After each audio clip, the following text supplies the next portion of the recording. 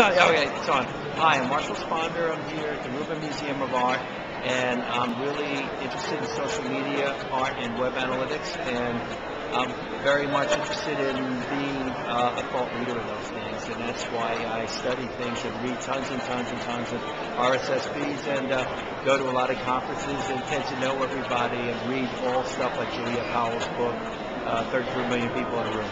And that's how I got to know about the co-creation uh, which I hadn't realized, and also how I realized and wrote my paper on social capital, which got presented at Social Media Jungle uh, last week, which was Jeff Pulver's conference, and I co-presented that with my friend Leticia Colon. So I'm here to take you around the Rubin Museum Art and give you my thoughts about pieces of work as an artist and somebody that studies sociology, religion, and, and art and science and web analytics. So anyway, that's that's me and I live in New York, and this is what I like to do on my spare time.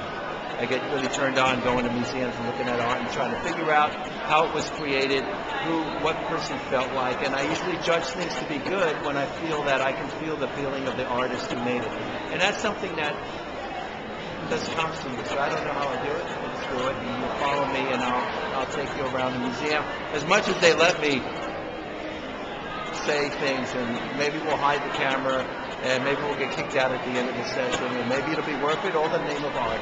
And I think that's it for now. So now you just turn the button off and whatever. And now we're looking at